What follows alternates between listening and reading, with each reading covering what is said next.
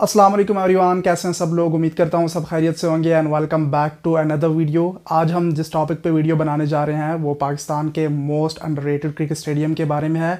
जी हाँ बिल्कुल, मैं इकबाल क्रिकेट स्टेडियम फैसलाबाद की बात कर रहा हूँ। इस पर मैं पहले भी दो तीन बार वीडियो बना चुका हूँ, जिसमें हमने तमाम तर स्टेडियम की बेसिक इन्फॉर्मेशन यहाँ पे कितनी कैपेसिटी है, स्टेडियम कब बना था स्टैब्लिश कब हुआ था, ये किन के अंडर आता है, वो तमाम तर चीज़ें हमने उसमें कवर की हुई हैं। अगर आपको बेसिक इन्फॉर्मेशन जानी है तो आप पिछली वीडियोज़ जाके देख सकते हैं यूट्यूब पर सर्च कर लें। लेकिन इस वीडियो का जो मकसद है, वो बहुत इंपॉर्टेंट है। देखें, अगर पीसीबी या गवर्नमेंट इस बात पर फोकस नहीं कर रही कि स्टेडियम में पीएसएल के मैचेस करवाए जाएँ या स्टेडियम को इंटरनेशनल स्टैंडर्ड के लिए अपग्रेड किया जाए, वो एक अलग बात है कि पीसीबी और गवर्नमेंट इसको अपग्रेड नहीं कर रही। अगर आप अपग्रेड नहीं कर सकते एटलीस्ट स्टेडियम की मेंटेनेंस का ख्याल तो रख सकते हैं, क्योंकि आप इस वीडियो में आप देख लीजिएगा कि स्टेडियम की जो हालत हुई है और वहाँ पे जिस किस्म के टूर्नामेंट्स करवाए जा रहे हैं तो वो आपको खुद ही अंदाज़ा हो जाएगा। बस इस वीडियो में आपने मेरे साथ एंड तक जुड़े रहना है। आप लोग बहुत फोकस करते हैं फैसलाबाद के क्रिकेट स्टेडियम को और मुझे रिक्वेस्ट भी करते हैं कि इसको हाईलाइट करें, इस पर वीडियो बनाएँ। तो आज मैं आपको दिखाऊँगा कि जिस स्टेडियम की आप बहुत रिक्वेस्ट करते हैं, उसकी आजकल हालत कैसी है। देखें, आप पाकिस्तान के टॉप टेन स्टेडियम्स भी उठा लें, उनमें ये आप कह लें कि छठे या सातवें नंबर पर आता है। यहाँ पर नेशनल टी ट्वेंटी कप के मैचेज़ होस्ट होते रहे हैं, कायद अजम ट्रॉफी के मैचेज़ होस्ट होते रहे हैं मिसबाउल हक, अजहर अली बड़े बड़े बड़े प्लेयर्स यहाँ पे खेलते रहे लास्ट ईयर भी यहाँ पे मैचेस होस्ट हुए और इस बार भी कायद अजम ट्रॉफी के जो मैचेस हैं, वो शेड्यूल हैं फैसलाबाद क्रिकेट स्टेडियम में आई थिंक आप मेरी बात के साथ एग्री भी करेंगे, पिंडी क्रिकेट स्टेडियम और फैसलाबाद के क्रिकेट स्टेडियम में इतना डिफरेंस नहीं है। यहाँ पे भी कुछ स्टैंड में चेयर्स इंस्टॉल हैं, उसी तरह पैप्सी का लोगो बट कहने का मकसद ये है कि पिंडी स्टेडियम की तरह ही बना हुआ है। बस इस पर थोड़ा सा फोकस करना है। तो एक तरह से वीडियो बहुत इंपॉर्टेंट भी है। पूरी देख लें ताकि आपको सारी इन्फॉर्मेशन मिल जाए। देखें फ़ैन मैन ऑफ़ किया हुआ है ताकि आपको अच्छी वॉइस क्वालिटी मिले। पसीने से शराबूर हो। गए सो काइंडली लाइक कर दीजिएगा। तो चलिए वीडियो को शुरू कर लेते हैं। चैनल को सब्सक्राइब करके बेलाइकन को दबा लें ताकि आपको आने वाली अपडेट्स मिलती रहें। अच्छा जी तमाम तर अपडेट्स की तरफ़ आने से पहले स्टेडियम की प्रेजेंट सिचुएशन आपको दिखाने से पहले, ये बात मैं आपको बता दूँ, आप यकीन मानिएगा, यहाँ पे 2021-22 की कायद अजम ट्रॉफ़ी के मैचेस होस्ट होने जा रहे हैं। देखें स्टैंड्स में चेयर्स भी हैं, ये तो मैं पहले भी एक्सप्लेन करता हुआ आया हूँ, अगर के गवर्नमेंट और पी सी पर फोकस करे तो एक अच्छा स्टेडियम ये बन सकता है इंटरनेशनल क्रिकेट के लिए पीएसएल के लिए। आई डोंट नो पीसीबी और पंजाब गवर्नमेंट किस साइड पर फोकस कर रही है। भाई, ये फैसलाबाद का एक खूबसूरत क्रिकेट स्टेडियम ये ख़राब होता जा रहा है दिन ब दिन। आप मानेंगे कि यहाँ पे 2021-22 जैसे मैंने आपको कहा कि यहाँ पे कायद अजम ट्रॉफ़ी के मैचेस होस्ट होने जा रहे हैं। मैं ये नहीं कह रहा कि फ़ैंस को अलाउ ना करें, लोगों को स्टेडियम में ना छोड़ें। ये लोकल लेवल का रिसेंटली यहाँ पे टूर्नामेंट हो रहा था और लोगों का हजूम देखें ग्राउंड एरिया में जाके वहाँ पर पता नहीं इतना ज़्यादा रश था। खैर स्टेडियम की हालत देख लें, जो स्कोर बोर्ड है उसको देख लें और इस तरह से स्टैंड भी मैं आपको सारे दिखाऊँगा। कहने का मकसद ये है कि ठीक है, लोग आएँ यहाँ पर मैचेज़ होस्ट हों क्लब लेवल की अकेडमी लेवल की, ये देखें ग्राउंड सर्फिस देखें। इसकी मैं बात कर रहा हूँ। जब आप लोगों को अंदर छोड़ देते हैं, ये तो बस प्लेयर्स के लिए होता है, एक मैच के लिए होता है, दो मैच के लिए होता है। ऐसा तो नहीं है कि आप पूरे हजूम को एक जलसा यहाँ पे अंदर छोड़ दें और पूरे स्टेडियम को ख़राब कर दें तो ग्राउंड सर्विस सर्विस भी ख़राब होती जा रही है।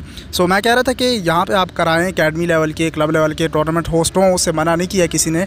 लेकिन एटलीस्ट स्टेडियम की मेंटेनेंस का तो ख्याल रखा जाए। अगर आप अपग्रेड नहीं कर रहे, इसको अपग्रेडेशन पे नहीं फोकस कर रहे हैं इसकी तो एटलीस्ट स्टेडियम को तो मेनटेन रखें। ये देखें मीडिया बॉक्स में मेन पुलियन के इनसाइड सारे यहाँ पे स्कूल के बच्चे भी आए हुए थे, लेकिन देखें, जो वीआईपी सेक्शन है जहाँ के inside main pavilion inside media box उसके बीच में जाके ऊपर बैठे हुए थे और यहाँ से मैच इन्जॉय करते सामने पिचिस एरिया देखें तो भाई यहाँ पर आपके Quaid Azam trophy, national T twenty cup के मैचेस होस्ट होते रहे हैं और इस साल के भी होने जा रहे हैं, जो शेड्यूल आया, अगर उसमें कोई चेंजेस ना आई, जैसे कि national T twenty cup shift हुआ था, मुल्तान से पिंडी स्टेडियम सो वो एक चेंज आई थी, लेकिन कायद अजम ट्रॉफ़ी के लिए Qaddafi stadium Lahore national stadium Karachi, Faisalabad और ये तीन स्टेडियम मैंशन है और I think Bugti cricket stadium भी है। अब I am not sure about that लेकिन आप मुझे कमेंट सेक्शन में बता सकते हैं। बट ये देखें, लोग आप हजूम देखें, ये इनसाइड वीआईपी सेक्शन था पवेलियन के इनसाइड यहाँ भी लोग अंदर घुसे हुए थे। जहाँ से आप स्टेडियम में इंटर होते हैं। तो ऐसे तो आप यकीनन एक अच्छा स्टेडियम गवा बैठेंगे। ये ज़रा देखिएगा लोगों का हजूम यहाँ पे। ग्राउंड के बीच में फेर रहे थे, सारी ग्राउंड सरफेस ख़राब कर दी थी। मैं इसको कई बार फोकस करता हुआ हूँ, आपने रिक्वेस्ट भी की है, देखें। ये बिल्कुल पिंडी स्टेडियम के जैसे दिखता है, वो स्टैंड्स भी उसी तरह से और जो यहाँ पे ग्राउंड सरफेस सरफेस है स्कोर बोर्ड आप देख लें स्क्रीन आप देख लें, वो सारी पिंडी स्टेडियम से मुशाबहत रखती है। स्टैंड्स में चेयर्स भी इंस्टॉल हैं, दो बड़े स्टैंड्स में चेयर्स हैं येलो और ब्लैक कलर की। लेकिन ये चीज़ जब मैंने देखी तो मैं यकीनन काफ़ी हैरान हुआ और आप भी मेरी बात से एग्री करेंगे कि भाई ये क्या है? ज़रा आप लोगों को देखें। और यहाँ पे जो टूर्नामेंट हो रहा था जिस लेवल का स्टेडियम के ग्राउंड सरफेस के ऊपर लोग फेर रहे थे वहाँ पे बैठे हुए थे तमाशाई बैठे हुए थे। सामने ये मीडिया बॉक्स देखें और इसके इंसाइड भी मैं आपको दिखा देता हूँ। ये अब मीडिया बॉक्स के इंसाइड देखें इसकी क्या हालत हो चुकी है। यहाँ पे कभी हमारे बड़े जर्नलिस्ट जो होते हैं हमारे बड़े जो आ, मैच की एनालिसिस करते हैं वो यहाँ पे बैठे होते थे। लेकिन अब उसकी ये हालत है। यहाँ पे गन देखें किस तरह से मचाया हुआ है। सारे स्टेडियम का सत्यानाश कर दिया है। मेरी ये रिक्वेस्ट है कि इस वीडियो को आगे शेयर करें। बड़े जो जर्नलिस्ट हैं हमारे ट्विटर पे, उनके साथ टैग करें कि यार ये देखें जिस तरह नियाज स्टेडियम हैदराबाद तबाह हो गया, उस तरह से ये भी ख़राब हो जाएगा।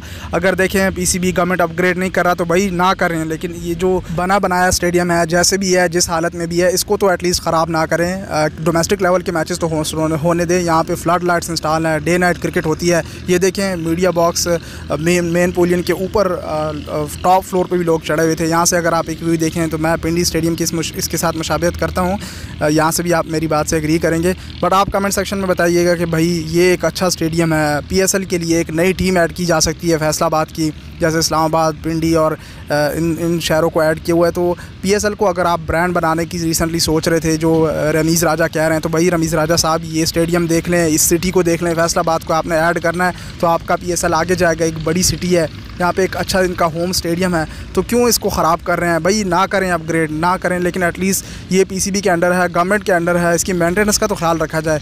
यकीनन ये रिसेंटली अभी अभी इसी वीक में ये टूर्नामेंट हुआ था, और इसकी ये हालत देखें किस तरह से लोग बीच में ग्राउंड में फिर रहे थे और यहाँ पे स्टॉल लगे हुए थे? भाई, मैं तो काफ़ी हैरान हुआ इसको देख के। मैं बार बार ये कह रहा हूँ, लेकिन यकीनन मैं शौक हुआ। आप भी देख के हैरानगी हुई हुई होगी आप लोगों को। इसीलिए मैं इसको रिपीट कर रहा हूँ और आपसे कह रहा हूँ कि इसको शेयर करें आगे। बाकी जो इसकी हिस्ट्री है, वो स्टार्ट में जैसे मैंने आपसे कहा, मैंने इसको काफ़ी डिटेल से एक्सप्लेन किया था। ये एक अच्छा बेहतरीन स्टेडियम है। इसको अपग्रेड किया जा सकता है। आप देखें, सामने पोलियन इस तरह से सॉरी ये सामने मीडिया बॉक्स है और इस साइड पे मेन पोलियन है। यहाँ पे इमरान खान इंक्लोजर है, हमारे लेजेंड क्रिकेटर्स यहाँ पे खेलते रहे ये हमारी डोमेस्टिक क्रिकेट का एक बड़ा सरमाया है। ये देखें, ये पोलियन है, सामने इमरान खान इंक्लोजर है। लेकिन यहाँ पे भी लोगों का हजूम, हर जगह पे लोगों को अलाउ किया हुआ था। ना कोई कोविड की एस फॉलो हो रही थी, ये बाहर से स्टेडियम आप देखें हिस्टोरिक लुक देता देता है। बाहर साइड का एरिया भी मैंने आपको पिछली वीडियोस में दिखाया था, इसमें भी आपको दिखा देता हूँ।